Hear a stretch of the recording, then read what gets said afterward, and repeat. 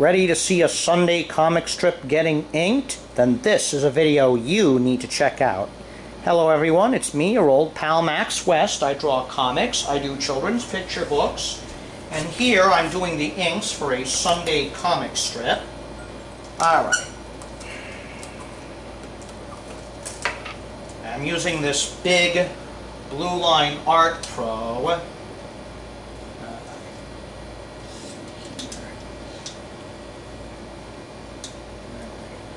be doing things a little differently here. I'm going to be using mainly markers as well as a, um, a rapidograph pen. That's what I usually do since that's, this gets colored in much later. Hmm? Ah, I have this chisel tip marker. And in this first panel, I'm going to be using it to make a very thick, fat line this mountain here in the extreme foreground.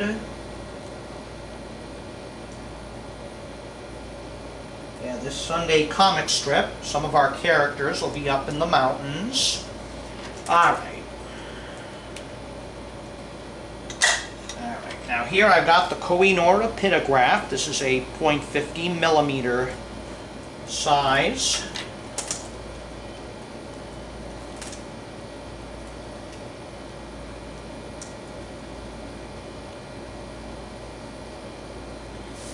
Now you see that we have a contrast. We have a thick line contrasting with a thin line. This is in the foreground, this is in the background. Later on when I ink this I'm going to use darker colors up front as well as lighter colors in back. That's a principle called atmospheric perspective. Now here I'm going to ink in our two characters in this comic strip. Here we have Pickaxe Paul local prospector. You rarely see him in, in Poison Ivy Gulch. He's usually out of town in the wild, digging for precious metals like gold and silver.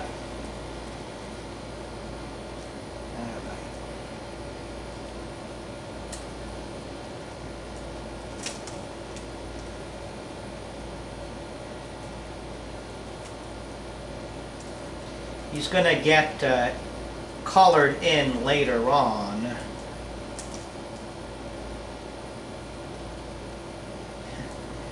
Yeah, you notice here he's um, very shaggy hair and a beard, not unlike that of Irwin Troll from Broomhilda.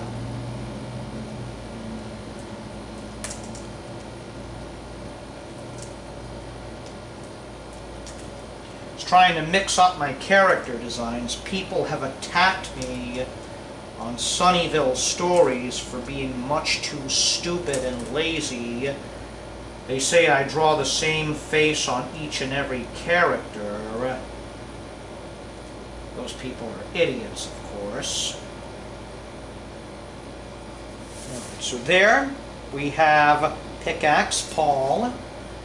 Here I'm going to draw Ace.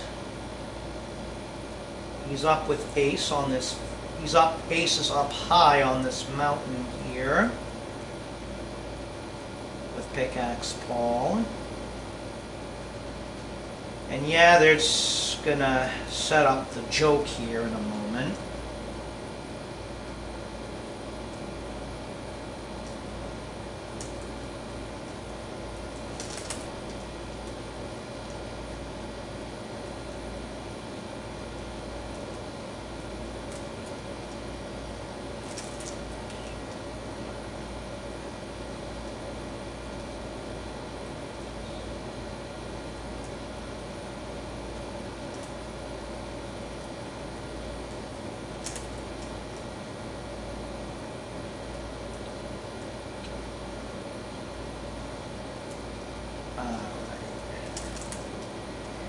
Yeah, here he's got a vest on instead of his usual buckskin.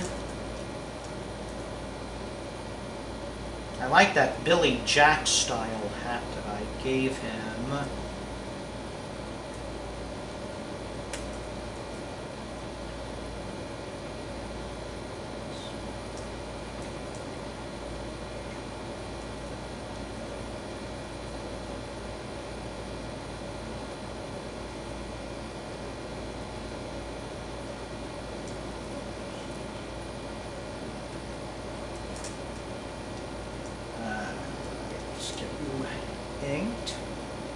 I'm using marker and pen here, because this will be colored in later with professional art markers.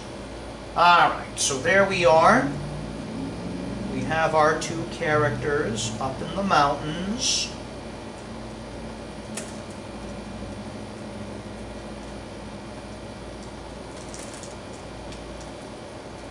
There we are. Alright, now I'm gonna I'm gonna use a very thick line here since this is a close-up of Pickaxe Paul. I'm gonna use this nice fat thick pigment liner. It's 1.2 millimeters.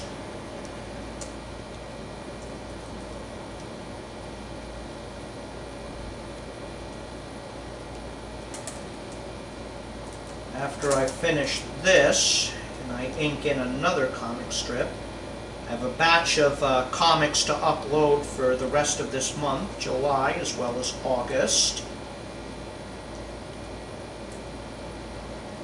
I also have to begin work on planning the uh, first Poison Ivy Gulch book.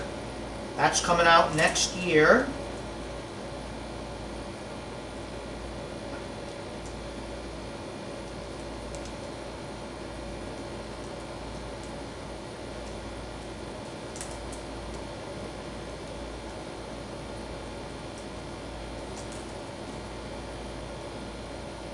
Ah, there we go.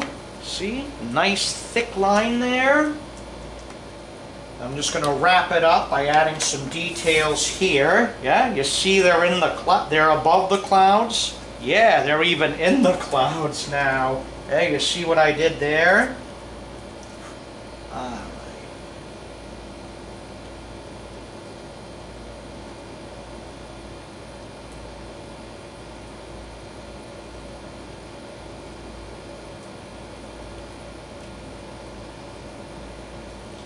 And there we are. Once this dries, I'll erase it, fill in the areas of black, and then we add the color. Well, that's it for today's video. Make sure you subscribe to my channel, hit the subscribe button, hit the bell icon to be notified of new videos. You like what you see here? Check out more of my work at poisonivygulch.com. The link is below in the description. Until next time, friends, it's me, Max West, saying goodbye.